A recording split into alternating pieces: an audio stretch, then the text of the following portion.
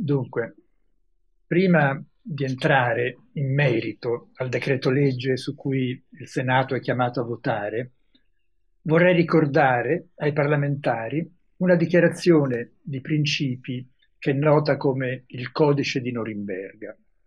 Siamo nel 1947, al momento in cui si stanno celebrando a Norimberga i processi ai medici che durante il nazismo siano resi colpevoli di gravi crimini compiendo esperimenti a volte letali su detenuti nei lager e eseguendo fino alle estreme conseguenze la politica eugenetica del regime.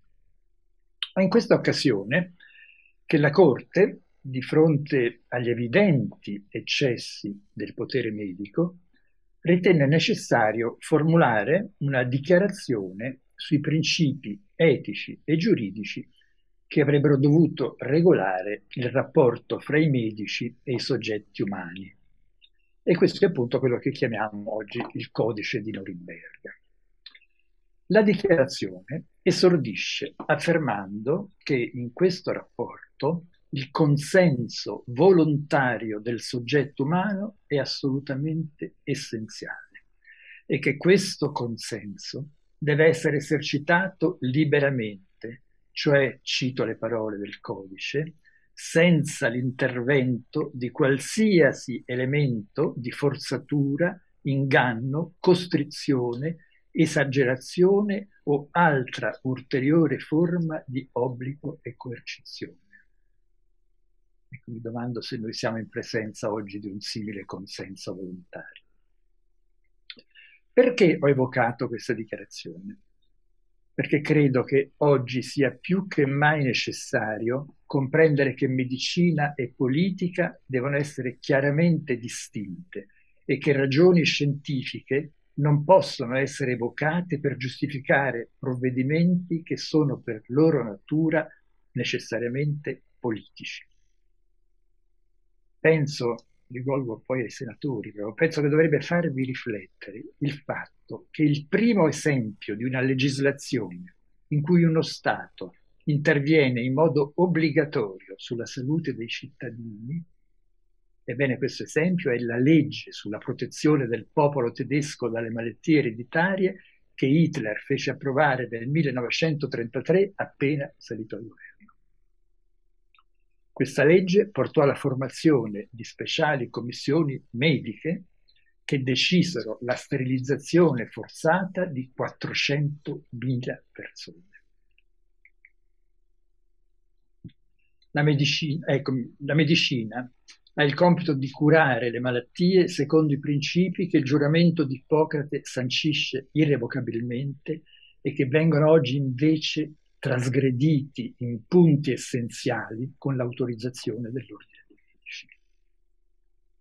Ecco, pensate, se stringendo un patto che necessariamente è ambiguo e indeterminato con i governi, la medicina si pone surrettiziamente in posizione di legislatore, non soltanto questo non giova alla salute degli individui, ma può condurre e di fatto sta conducendo a limitazioni inaccettabili delle loro libertà rispetto alle quali le ragioni mediche offrono un, il pretesto ideale per un controllo senza precedenti della vita. Mi domando, è accettabile che per una malattia di cui, secondo le parole appena pronunciate dal professor Palù, la letalità è dello 0,2%, è accettabile per una malattia con questa letalità dello 0,2% che tutto un paese sia sconvolto e terrorizzato e limitato nelle sue libertà di movimento, di lavoro, eccetera. Vengo ora al decreto su cui siete chiamati a votare. Penso che dovreste sapere, come ormai accettato da fonti autorevoli internazionali, scientifiche internazionali, che il vaccino, è stato detto anche qui, non protegge dal contagio e che dopo un paio di mesi il vaccinato si trova rispetto alla malattia nella stessa situazione del non vaccinato. Di qui la necessità che dovrebbe far riflettere chiunque ha buon senso di una terza dose e domani perché no di una quarta all'infinito. se il vaccino è efficace, perché c'è bisogno di una terza dose, eventualmente anche di ulteriori? Di fronte a questa evidenza, invece di mettere in questione l'utilità della politica fin qui seguita sul problema dei vaccini, il governo, coadiuvato in questo da media sempre più irresponsabili, ha preferito fare la cosa peggiore che si può fare in una società, e cioè dividere i cittadini in due classi nemiche.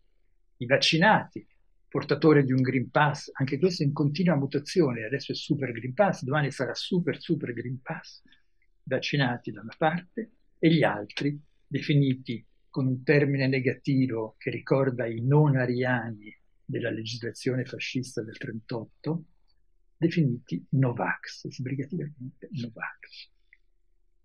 Dopo aver seminato per quasi due anni il terrore e la paura, si seminano così ora l'odio e la discriminazione, accusando senza alcun fondamento chi ha scelto di non vaccinarsi di danneggiare coloro che come vaccinati dovrebbero essere, sentirsi protetti e che evidentemente non si sentono tali. Una società così divisa e fondata sull'odio e sull'insicurezza non è una società libera e vivibile. Io credo che il nostro paese stia scivolando in una barbarie che non ha precedenti nella sua storia. Una barbarie in cui a me pare di provare ogni giorno, ogni giorno di più, quella che Primo Levi ha definito la vergogna di essere uomo.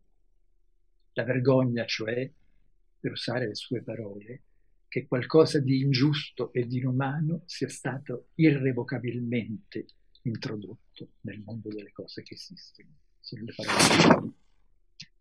È in nome di questa vergogna che chiedo ai senatori di interrogarsi e di riflettere a lungo prima di votare il loro consenso a un decreto legge ingiusto e inumano.